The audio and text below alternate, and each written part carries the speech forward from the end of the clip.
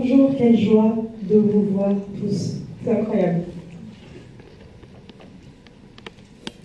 Ok, je faire le début. C'est toujours compliqué d'avoir la toute première question, donc je vais, je vais commencer.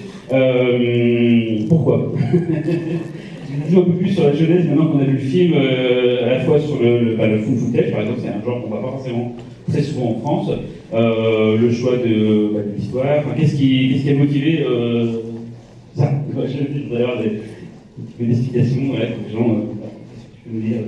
Je comprends la question totalement.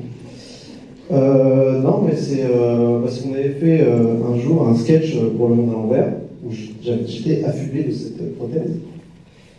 Et, avec Timothée, ça nous faisait juste rire que j'ai une autre tête. Et on s'est amusé à faire des vidéos un peu justement déjà à fond footage avec ce personnage. Et, puis ça nous a amusé, on a voulu pousser le, encore plus loin, raconter une vraie histoire avec vraiment bah, un peu bah, ses origines derrière, mais expliquer un peu plus le personnage, approfondir quoi. Et tout en s'amusant. C'est important de s'amuser, non? Oui, c'est bien, bien résumé. En fait, on avait, puis on avait aussi cette, euh, cette ce goût commun pour le fan footage, pour l'horreur, et, euh, et, et, surtout de la comédie d'horreur euh, dans, dans, ce style-là qui, en effet, en France, on voyait pas beaucoup ça, et ça nous a, ça nous a donné envie de, plonger dans cet univers. Et, et du coup, d'y aller à fond. Et au début, on voulait juste faire un court métrage, le faire vraiment entre nous. Et en fait, on a fait un long métrage entre nous, euh, avec euh, Vanessa et Poulpe qui, qui, nous ont fait confiance sur euh, vraiment une réunion où on a juste pitché euh, entre deux déj le, le, truc et ils ont fait allons Donc euh, c'était assez fou comme, comme pari et, on, et, du coup on y est allés tous ensemble. Il y avait quasiment toute, presque toute l'équipe dans la salle qui, qui, nous a aidé à faire ce film. Et, voilà, en effet, on s'est beaucoup amusé.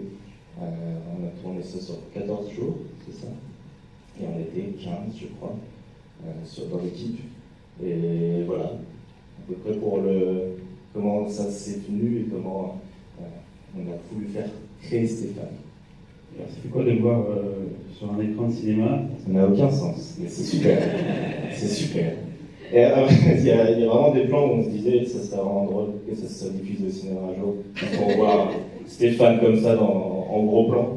Euh, ça nous fait beaucoup rire et là du coup on l'a vu, donc ça, ça, ça c'est assez fou et, et, et, très dérangeant que tout le monde voit ce, ce, ce projet étrange mais dont on est très très très content. Vanessa, vous voulez dire quelque chose sur la partie justement euh, production, euh, jeunesse du projet, tout ça. Enfin, Vanessa, c'est ton premier long métrage, si je ne me trompe pas, et raconte-nous un peu l'aventure. Bah, comme disait Tim, euh, c'est vraiment euh, au détour d'un déjeuner qu'on a tous pris la décision de partir dans l'aventure. C'est vrai qu'on a tous été malmenés par les confinements dans tous les corps de métier de la Terre entière. Mais euh, là, d'avoir la volonté commune de faire un truc brut dans la performance avec une équipe qui, au-delà d'être simplement 15, est aussi tous les rôles, troisième, quatrième rôle, cinquième rôle, sont en général les chefs de poste qui eux-mêmes n'avaient pas d'équipe. Euh, donc merci pour ça aussi. Et c'est vrai que c'était une envie de faire quelque chose volontairement en, en un temps court, parce que euh, il faut savoir qu'il y a certaines scènes qui ont été euh, tournées il y a encore trois semaines. La post-production s'est faite en deux semaines et demie, donc là c'est pour ça que c'est une version de travail qu'on qu qu présente. Mais c'était cette volonté de se dire euh, qu'est-ce qui peut faire cinéma quand on a juste des gens dans une pièce qui ont envie de créer un truc ensemble euh, et de raconter une histoire. Hein. Du coup, là, on va tourner en mai-juin et on diffuse pour la première fois devant vous début décembre, donc ça allait hyper vite par rapport à un circuit long métrage classique de 3, 4, 5 ans, voire plus. Donc, euh, donc voilà. Il faut savoir qu'ils euh, étaient très surpris euh, de la sélection euh, début novembre, du coup ça a accéléré beaucoup de choses. Moi j'ai cru que tu étais ivre mort. Mais après, j'ai comment ça vous a donné un deadline, ça vous a donné un but pour justement avancer sur le film et tout. Et non, non, mais c'est super parce qu'en plus, euh, tout le film s'est fait comme ça, dans son jus en permanence. Donc quand manifesté ton désir de le programmer ici, c'était parfait parce qu'on était hyper content de devoir le finir dans cette échéance-là et de rester dans cette énergie-là où on n'a pas tellement euh, la possibilité de prendre du recul et à la fois c'est comme ça qu'on a tous créé, c'est aussi dans cette adrénaline-là. quoi. très bon binôme, parce que c'était ce que je voulais dire. Je en. A. Non, mais c'est vrai que le, le- globalement, le- le- ce projet s'est fait, donc il s'est créé il y a moins d'un an, euh, quand on s'est dit, OK, on fait, parce qu'on était tous en, dépression euh, de confinement. On a appelé donc plein de, plein de gens. C'est avant tout un film d'amis et surtout des amis de, Lucas et, Timothée, mais c'est un film d'amis où tout le monde est venu dans cette énergie de se dire Ok, on s'emmerde, on va créer un espèce de cin- cinéma guérilla euh, slash art brut. C'est aussi pour ça que le film il est euh, semi-improvisé, c'est qu'on a écrit une trame et ensuite sur le tournage, on jouait avec ce qu'il y avait euh, autour de nous pour, justement créer en même temps euh, tout ça, aussi pour une question de budget. Euh, et c'est aussi pour ça quand, on fait la blague en disant qu'il y a, autant de comédiens que de techniciens, parce qu'en fait c'est les mêmes, c'est aussi ce truc de jouer ensemble et de retrouver un, plaisir de créer ensemble dans une période qui était un peu compliquée. Et aussi, on continue à le créer encore. Là, c'est une sorte de, projection. On va venir vous voir derrière en disant non, on a commencé. Parce que le film il va encore euh, évoluer. Effectivement, il y a- trois semaines, on faisait des retakes grâce à Cyril. Qu'on lui a vraiment envoyé une séquence, enfin un film, il y avait des fois des écrans noirs où c'était écrit là il prend une voiture. C'est ça qui a fait Cyril. Et c'est quand même dit j'adore On dit bon, c'est peut-être mauvais signe d'être sélectionné dans ce festival. Mais euh, J'ai une belle voiture au début. Je, ouais, ça allait mieux ou moyen cette voiture je sais pas, je verrai ça plus tard parce que c'est fini. euh, ouais. Mais donc du coup, voilà, c'est aussi un vrai plaisir d'avoir, j'allais dire, une, partie de l'équipe. Bon, c'est l'équipe, hein, vu que c'est une petite partie de gens. Euh, mais, et aussi de montrer, de enfin euh, montrer ce truc-là étrange qu'on a créé ensemble. Et, on espère que vous avez... euh, on ne sait pas d'ailleurs quelles émotions vous avez ressenties, mais on a hâte de savoir. Oui, il y a une première question, quelque part en bas, en haut, au milieu, je ne sais pas. C'est toujours compliqué la première question. Ah, ok, j'ai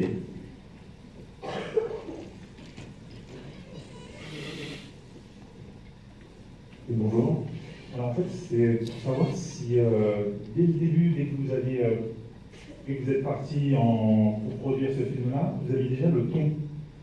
Ce ton-là, genre, euh, ah, on va rigoler, mais on va peut-être se prendre une petite, une petite blague bah, avec l'affiche déjà, en tant que nouveau du mal, mais fait, on rigole, tout en se demandant où ça va tomber. Est-ce que vous saviez déjà où vous alliez ou est-ce que c'est en cours de route, au début ça allait être rigolo, ça allait être angoissant, et ça s'est fait, ou est-ce que vous aviez déjà ce ton-là? On, a trouvé vraiment en cours de route le ton exact, mais on savait dès le début que, ça, allait être une comédie d'horreur. Euh, mais on l'avait encore plus poussé, poussé dans l'absurde. On a, beaucoup coupé aussi parce que le- vu qu'on improvise souvent, bah, le film euh, il durait deux heures et c'était pas possible. Euh, donc euh, on a coupé beaucoup et euh, on a essayé de trouver le ton au montage en fait parce que on avait tourné des choses qui euh, au final nous semblaient trop absurdes par rapport au réalisme qu'on voulait mettre quand même. Euh, donc on l'a trouvé au montage, je dirais. On savait dès le départ. euh, en fait, ce qui, est pratique, c'est que Lucas, du coup, euh, joue le personnage principal et il, nous, faisait les scènes en direct, donc on savait le ton. Et, il avait, des- enfin, il a, avec Bastien qui joue Tim, ils ont tous les deux un grand talent d'improvisation et du coup, on savait en fait déjà le ton grâce au casting, grâce à Lucas et à Bastien, où on savait très bien que ça, ça, ça allait beaucoup nous faire rire euh, dans leurs improvisations. On a fait des répètes.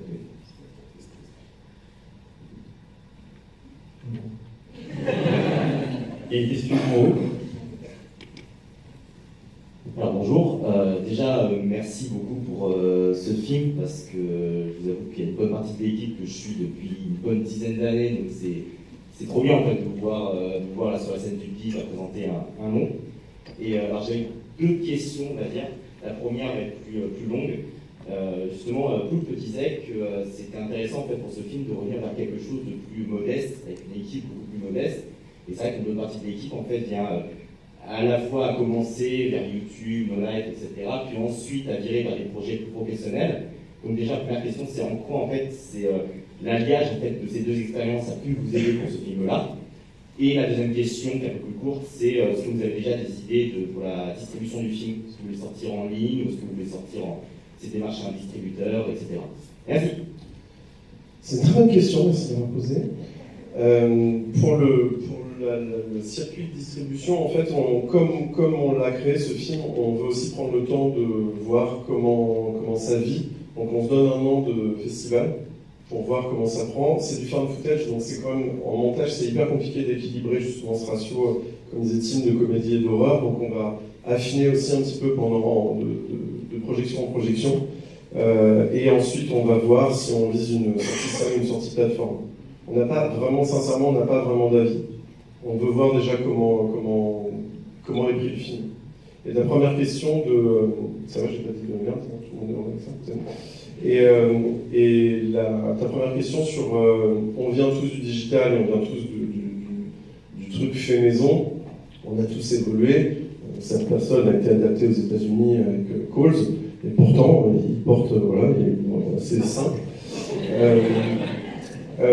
du coup, c'est vrai qu'on on, est parti armé avec un sens plus écrits, on va dire, que, que nos productions d'il y a une dizaine d'années ou une vingtaine d'années, où on, maîtrise mieux la narration, etc. Mais on le prend quand même avec, euh, ce côté brocante.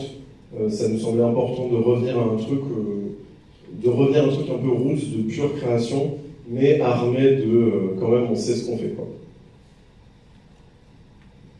J'ajoute qu'il y a eu aussi, en fait, on a réuni deux familles, c'est vrai, donc des gens qui sont issus ou dont la vie ont changé grâce à l'arrivée d'Internet, j'en fais partie, on, fait, tous un et aussi euh, une autre famille, celle de Stéphane Philoc, qui est la personne qui nous a présenté le cascadeur équestre Cédric Vallas, Polo Loridan, l'artificier, toute cette famille-là, Milan aussi, euh, de gens qui viennent euh, du spectacle vivant, en fait, beaucoup, pas que, mais euh, en partie.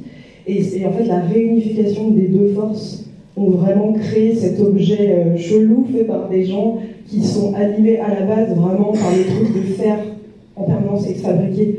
Et, et c'est clair que ça matchait de ouf et je pense que ça se voit quoi.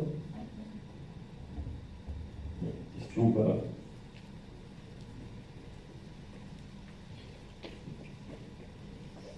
Euh, bah, déjà, euh, bah, pense que ce film qui était. Euh, moi j'ai vraiment adoré. Pour répondre rapidement à M. Poulpe, je pense qu'au vu des rires qu'il y avait dans la salle, je pense que as déjà un aperçu de la réception du film. Et ma question c'était par rapport au lieu de tournage. Je trouve qu'il y en a beaucoup dans le film. Parce que je trouve, moi personnellement, je, trouve ça intéressant parce que ça permet de voyager un petit peu au travers du film. Et je me demandais, alors qu'on est dans une période de confinement, de restrictions peu de tous les côtés, si vous avez eu des difficultés, si si c'était aussi une, volonté de vouloir euh, justement bah, vous évader euh, à travers une péniche, euh, une sorte de manoir un peu, votre retour en fait sur, le lieu de tournage. C'était important parce qu'on a quand même un film avec deux personnages à l'image, quasi. Au bout d'un moment, il y en a un troisième, on s'est dit, bon, il faut quand même qu'il fasse des choses, sinon ça va être très vite chiant. Et donc pour ça, je laisse répondre Vanessa pour tout le côté euh, euh, organisation de décor. En fait, c'était très simple, mais, euh, on, a, eu beaucoup de chance sur tout ça. Bah, en fait, encore une fois, hein, c'est Stéphane Philoc et toute sa clique qui nous a mis en contact avec des gens qui ont bien voulu nous. En fait, on s'est retrouvés dans ces endroits-là parce que c'est là où habite Stéphane Philoc, en fait. Donc on a tourné en Ariège, on a tourné vers Clermont-Ferrand, et puis après c'est la magie du cinéma, c'est Putriche aussi, énormément de choses. Mais euh, c'est vrai que c'était super de pouvoir partir à une toute petite équipe au milieu de la forêt, quoi, clairement.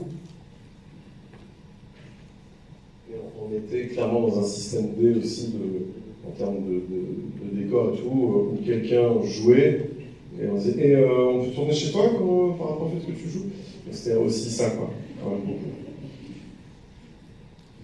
On, a parlé de, deux familles, il y a, quand même un troisième membre euh, qui vient et qui n'a aucun sens dans ce film, c'est quand même euh, le chef armurier, qui est vraiment était en culpabilité totale parce qu'il me dit Ouais, là je reviens de Bac Nord. Ah, d'accord, on va prendre le fusil, d'accord. Jean-Michel euh, Chaplin, qui est ici parmi nous, que l'on remercie très fort, ainsi que Christophe Maratier. Effectivement, Jean-Mi nous racontait sur le set toutes les anecdotes de Bac Nord de Cédric Jiménez. Et nous, on Stéphane, et il est venu euh, une semaine entière avec nous, et c'est incroyable aussi de voir des gens qui bossent sur les plus gros longs métrages au plus euh, gros budget mondiaux, euh, parce qu'ils bossent pour le monde entier, venir sur un film comme Stéphane et être, avoir encore un regard d'enfant sur le fait de créer un truc et de rigoler à toutes les vannes que faisait Lucas sur le set. Quoi. Par exemple, il y a pour vous montrer le- l'esprit, l'ambiance du tournage, c'est que la, scène où euh, Tim se fait tirer dessus avec plein de feux d'artifice, donc là, on l'a vraiment fait, euh, le, le- le co- le comédien Bastien courait avec la caméra à la main et tout le monde tirait des feux d'artifice sur lui, euh, en évidemment pas visant Bastien mais autour. Et donc Jean-Michel, armurier du cinéma, dit ok, fais. Donc il était dans une position de tir où on sentait le professionnel qui tirait juste à côté, c'était très impressionnant. Question à l'étage. Oui, question là-haut.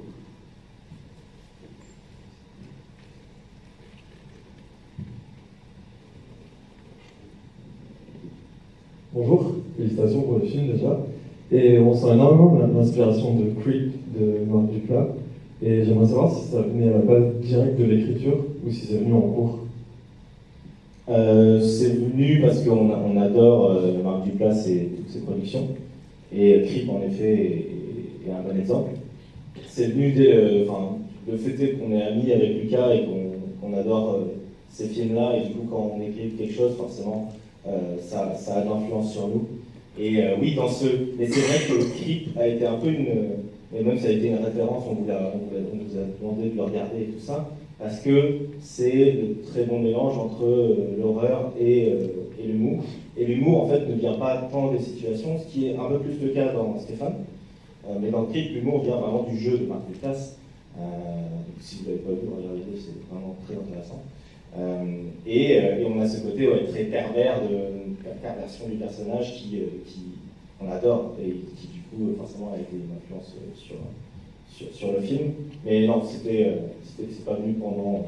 Justement, au contraire, je trouve que on a réussi à petit à petit euh, euh, s'en défaire au fur et à mesure du montage. Et même sur le tournage, en fait, on s'est rendu compte que c'était beaucoup plus comédie et beaucoup plus absurde parfois même que, ce, genre de film. Tout à l'heure, propos d'inspiration, j'ai beaucoup pensé aussi au Stras de Vincent Lanoux, je ne sais pas si vous l'avez vu, film sur un professeur de théâtre, un peu psychotique aussi, quoi, et il y a. Pas vu C'est une bonne inspiration, du coup, j'ai voilà, mais, euh, j'ai beaucoup pensé à ça, j'ai pas pensé à film. c'était mon petit avis. Est-ce qu'il y a d'autres questions ici Je n'en ai pas imposé, moi s'il faut. Ah, c'est là-haut.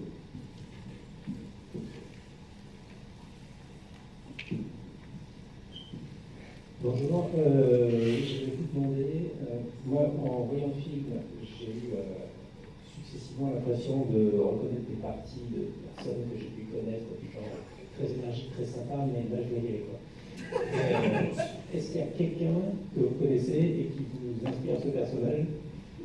Évidemment sans dire son nom. Euh, je crois pas. Je crois, enfin, j'ai regardé juste beaucoup de, j'avoue, des trucs sur euh, Gérard Depardieu.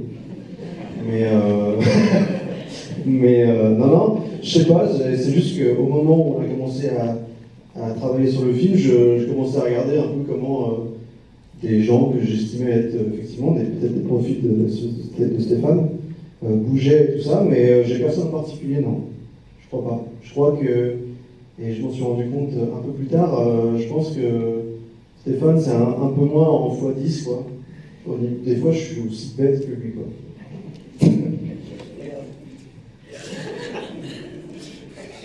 non, voilà. Il y a encore une question en haut. Bonjour, euh, merci beaucoup, déjà c'était très drôle. Euh, je voulais savoir euh, s'il y avait un peu, euh, sur le personnage de Tim, un côté un peu autobiographique, parce que tous ceux qui ont fait des courts-métrages un peu pourris avec leurs potes euh, quand ils avaient 20 ans et qu'ils ne savaient pas cadrer, c'est très juste en fait euh, la façon dont, tu, dont vous décrivez le personnage, donc voilà, je voulais savoir si ça de vous. Oui, oui, oui, bah, c'est vraiment l'époque où euh, on, avait 14, enfin moi j'avais 14-15 ans et je regarde des making-of de l'époque, j'ai envie de me tuer. Vraiment, je suis insupportable et très prétentieux. Et, euh, et Bastien l'a magnifiquement interprété, ce, ce côté où euh, tu sens qu'il y a toujours l'ego qui prend dessus, euh, qu'il y a toujours cette, cette, volonté de, briller, d'être dans la gloire, de, réussir comme tout le monde a réussi. Et en plus, Bastien n'a pas 15 ans, donc il y a encore plus ce côté frustré d'avoir peut-être raté sa vie, tout ça.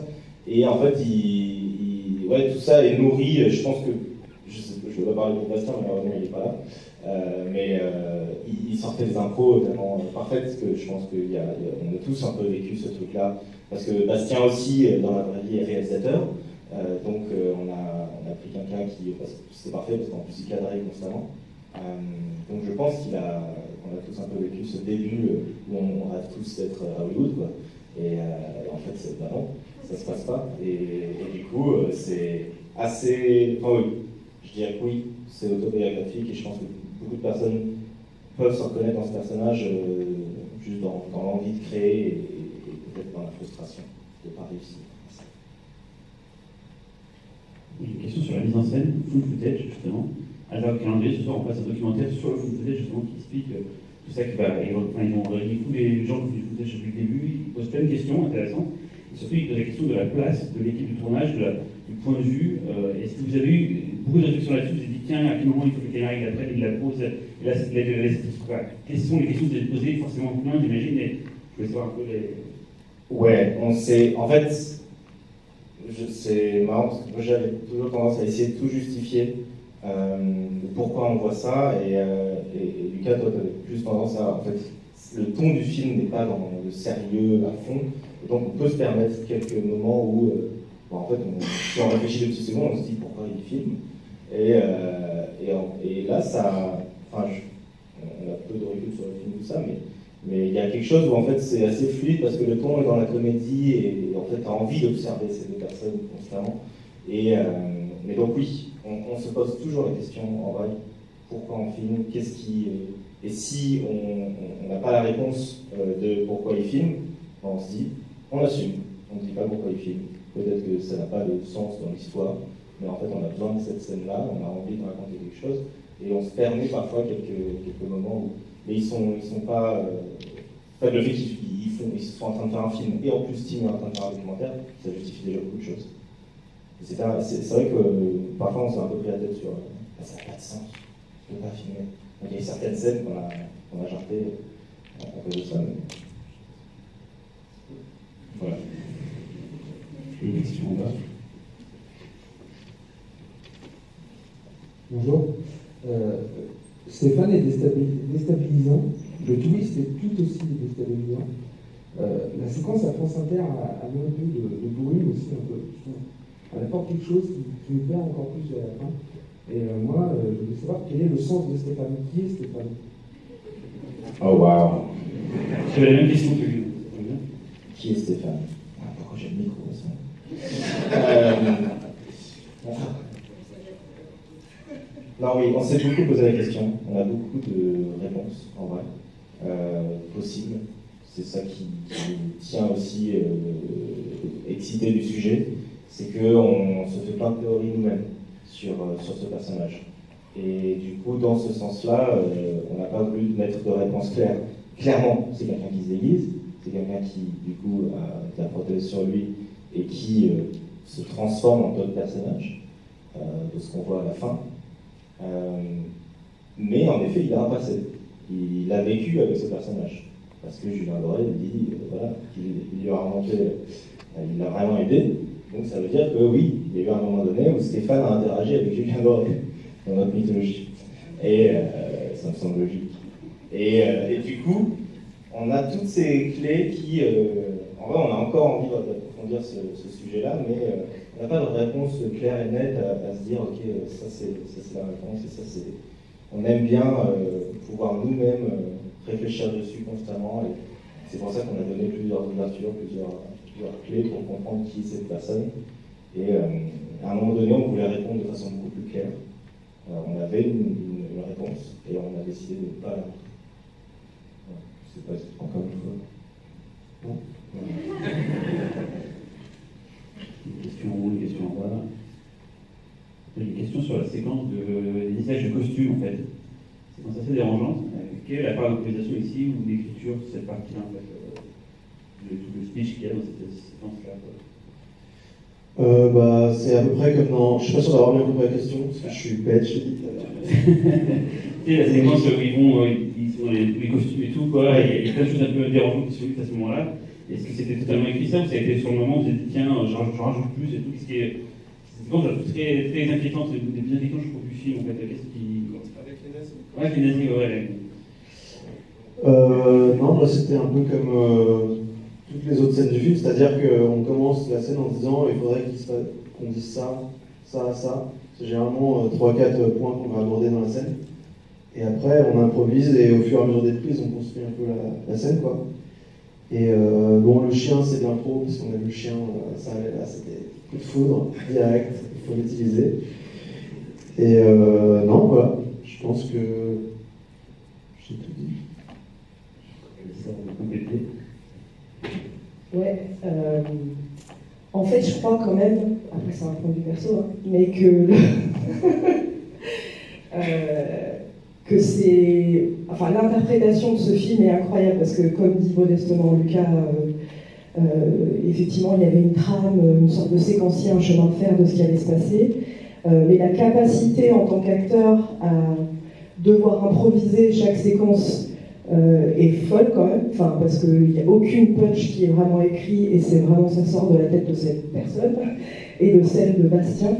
Et aussi, je me permets de parler du rôle féminin donc de Bianca, interprété par Eva Grégoriev, qui a aussi peint le, tableau de Stéphane incroyable, très biblique. Euh. Et euh, avec deux personnages masculins extrêmement bavards qui se. C'est un combat de coq quand même ce film. Et d'avoir ce personnage féminin qui ne parle pas et pour qui on choisit constamment ce qu'elle doit faire, je trouve qu'elle est d'une justesse euh, incroyable et qu'elle rajoute énormément à l'étrangeté de ce film et à son côté euh, euh, terrible quoi.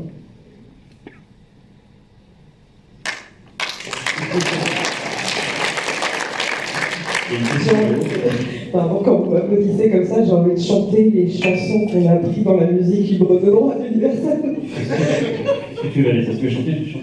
Il y a une question sinon. Moi, je voulais savoir euh, si vous alliez faire des posters du tableau.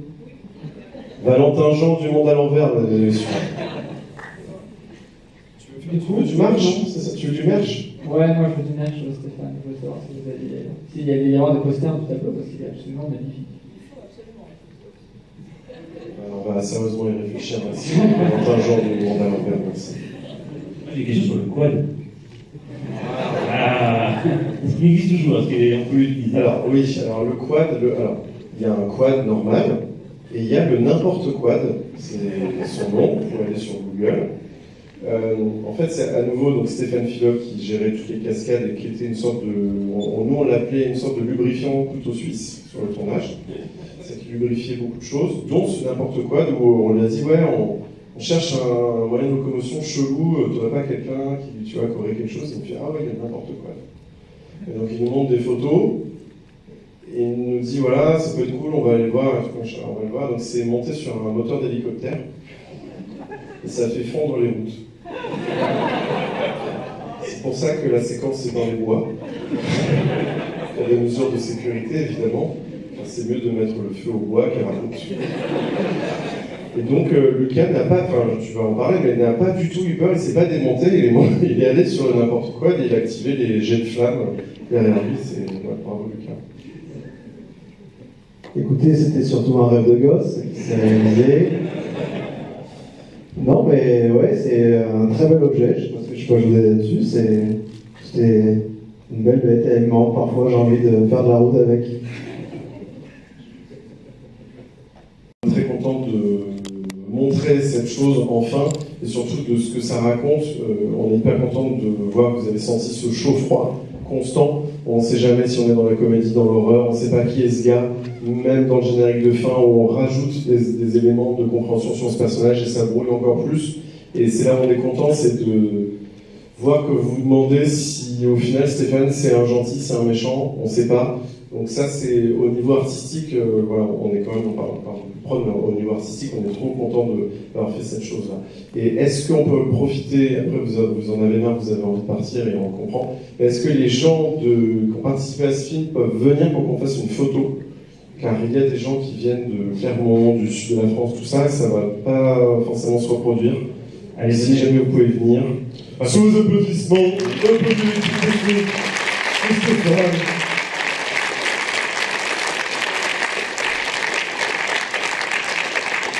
C'est pas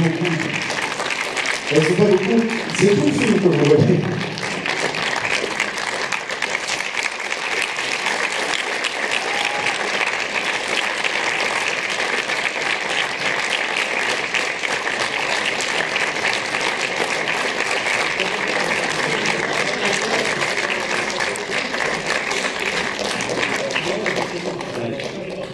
La photographe est là.